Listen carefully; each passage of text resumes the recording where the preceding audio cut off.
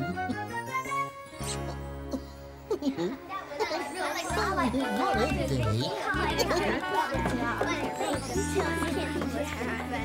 at the bubbles! Where are they coming from?